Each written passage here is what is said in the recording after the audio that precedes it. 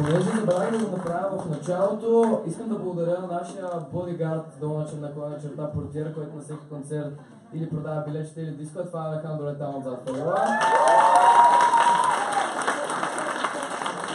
Разбира се, за да успея да благодаря на всички, ще трябва да мине целият концерт, защото това е една малка част от хората, които участват в албума, които сте видели до сега.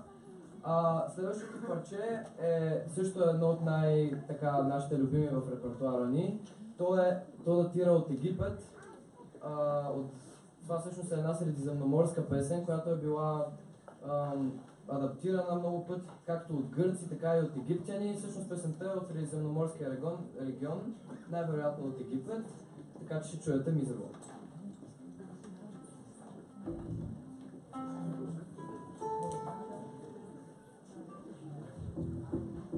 Другото, мисля, че е време да кажем какво всъщност е околеле. Защото околеле, околеле, за някой, който, за, ако има въобще някой, който не знае какво е околеле, околеле, както виждате, е струнен инструмент, много подобен на китарата. Всъщност той си е същинска китара, която всъщност разликата между околеле и китара е четирите струни и по-различния строй. Както виждате, първа и последна струна са високи, което е много странно. Има един такъв много, много готин Симпатичен да, симпатичен, весел дори тембър, който създава специфичността на инструмента. Та, мизрала. Thank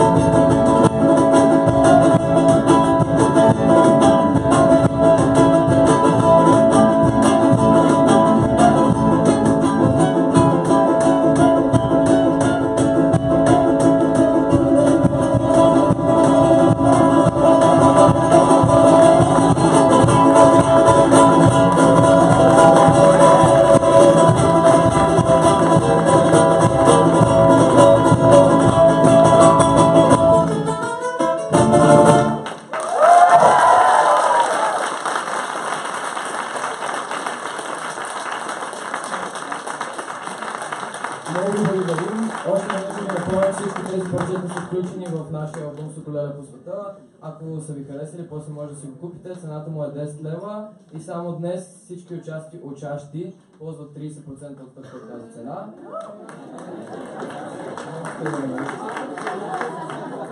А, следващата песен отново е от диска. Мисля, че всички знаете за Сертаки, но все пак ще ви разкажа. Това е интересно с Сертакито е, че много често се бърка с народна песен, въпреки че не е. Тя е създадена за филма Зорва Гъркът от Мики Стеодоракис и той създава хореографията на танца Сертаки. И, но въпреки това се възприема в Гърция като един от най-популярните танци, въпреки че не е традиционен, се танцува като такъв. В България знаете, че хората могат да го танцуват и като хоро. Това не е точно версията, по която танцуват гърците. И да, ще ви свирим сертаки. Това е Дайа Рибаров на китара.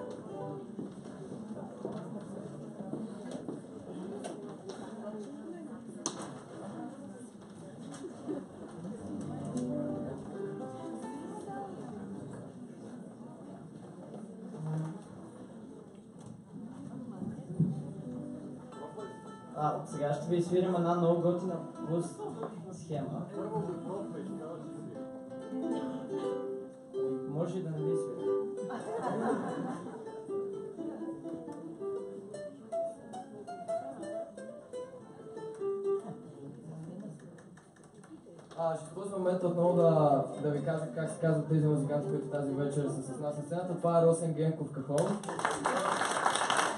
Боян Дачов китара, Ане Иванов разбира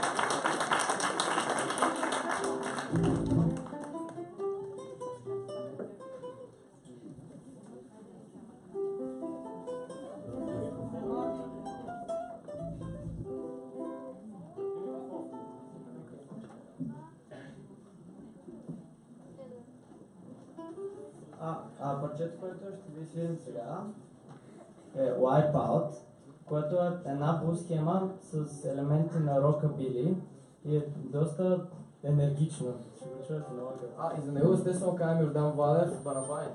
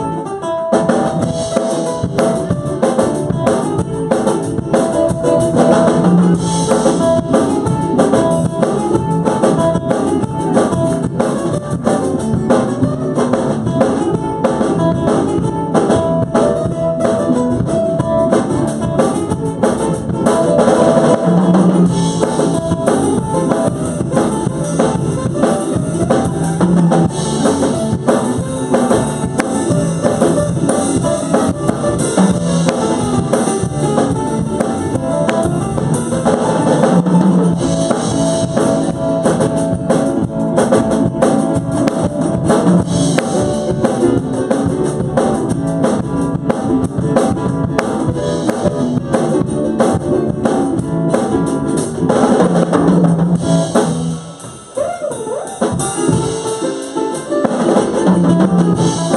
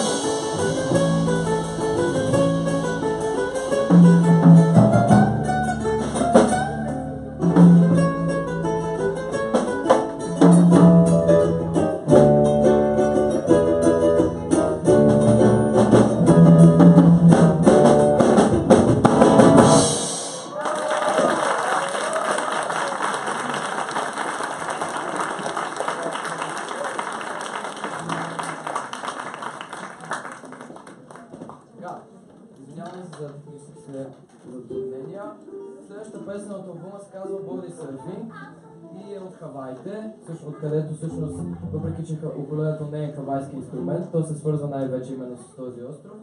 Боди сърфинг се превежда като а, сърфиране с тяло, т.е. сърфиране без дъска. Това е един обичай много тради- традиционен за хавайците, по който показва тяхната връзка с природата.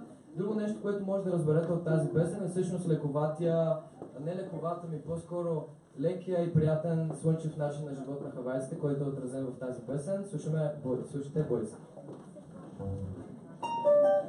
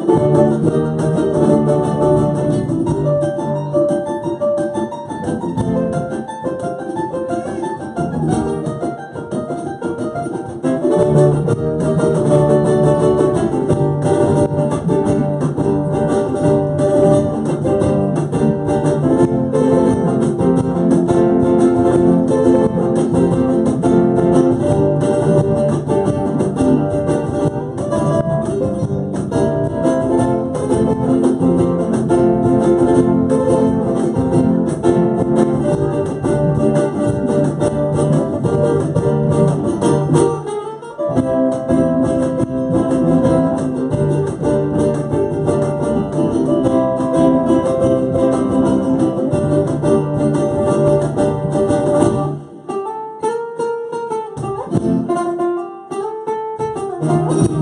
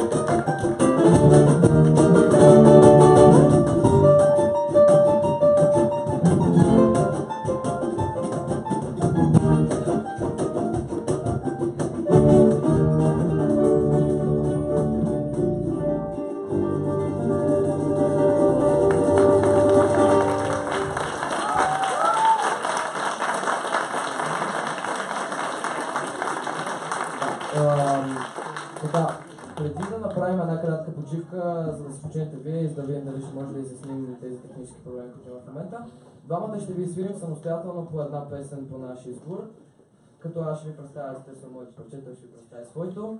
Песента, която аз ще ви свиря, е написана от Джордж Харисън, изказва While My Guitar Gently Weeps. Аранжимента е на Джейк Шимабукуро, който е един от най-известните вокалисти в света и да, надявам се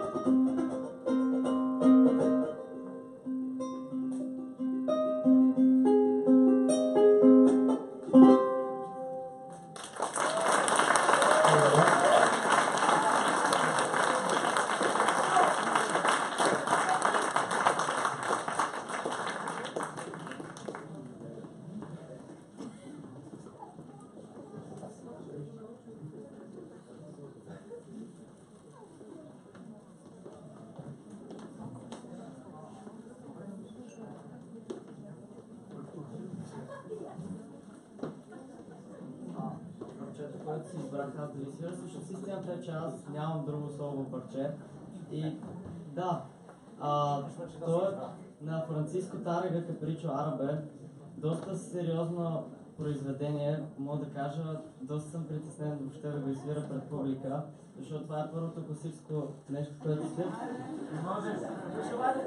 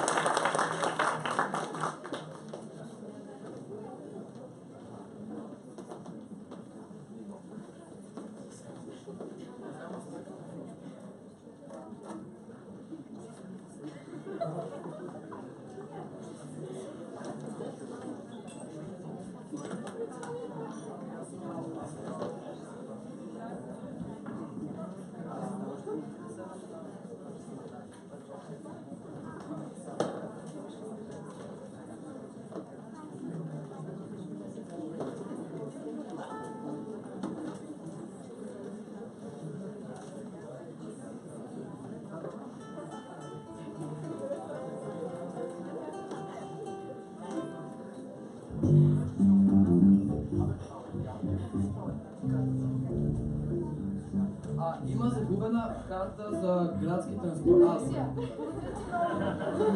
А, така, надяваме се сте починали, защото доста дълго ще се оказа паузата. Продължаваме с още една песен от албума, която също е от Египет и е посветена на богинята на любовта, Хатур, която така се казва в египетската митология. Всъщност песента не, не я свирим в особено автентичен вид, тъй като само първата тема е египетска и всъщност първата тема е това, което е автентично, всичко друго е наша авторска интерпретация. Авторска интерпретация, разбира се, има на абсолютно всички песни в албума, но тук е най-силната. Така че Хатур. А, и за тази песен ще включат Алекс Дарова и Есел Карада и Ево Кайт.